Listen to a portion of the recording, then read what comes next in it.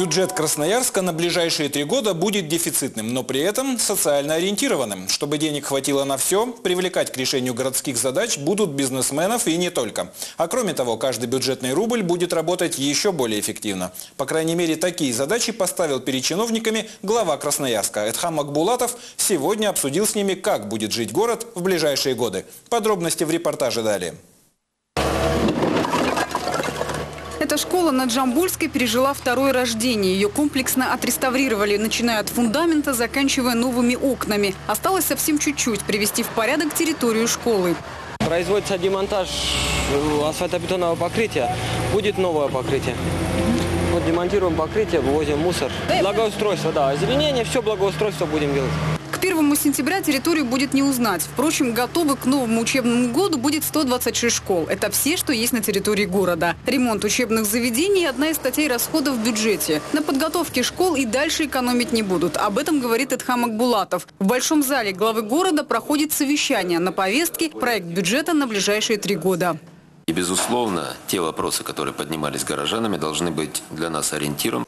Первую очередь жители города волнуют очереди в детские сады. Глава ставит задачу за 4 года эту проблему решить. Построить новые и отремонтировать старые здания садов, которые сейчас занимают другие структуры. Еще приоритеты, которые отмечают сами жители, это дороги. Уже сейчас запланировано строительство крупных развязок на Брянской и на Северном шоссе. Плюс проезды во дворах. В области спорта ежегодно планируется обустраивать по 100 спортивных площадок, чтобы самим жителям было недалеко до них добираться. А еще не забыли и про бассейны и спорткомплексы. Благоустройство – отдельная тема. Миллионному городу миллион деревьев. Не просто слоган, а программа к действию. Не забыли и про вот жилья. Предлагают построить квартиры для детей-сирот. Кроме того, предусмотрели средства для переселения из ветхого и аварийного жилья горожан. Таким образом, бюджет будет социально направленным и дефицитным.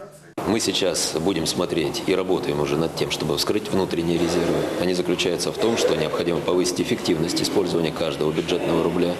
Э, есть такие резервы, и я их вижу, и мы их вскроем. Э, нам необходимо будет посмотреть на собственную доходную базу, и, возможно, откорректировать ставки по каким-то платежам, которые поступают в бюджет города. Но при этом, конечно же, мы должны действовать таким образом, чтобы дать возможность красноярскому бизнесу продолжать развиваться. Кроме того, город будет участвовать как в краевых, так и федеральных программах, чтобы, например, строительство детских садов финансировал не только Красноярск, но и Федерация. Кстати, горожане предлагают свои идеи, откуда чиновникам взять еще средства.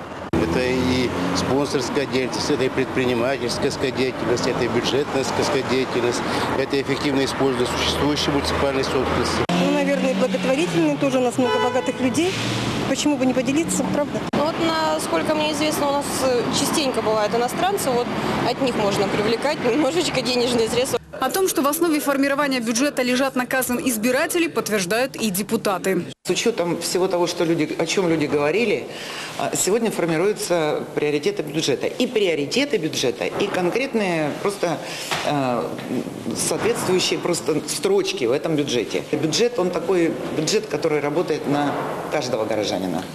О том, что бюджет будет дефицитным, депутата не пугает. Тем самым это, по ее мнению, подтолкнет чиновников искать новые источники дохода. Тем более глава Красноярска уже поставил такую задачу перед своими подчиненными. Ирина Алиева, Денис Тимошенко, Краевой телеканал «Енисей регион».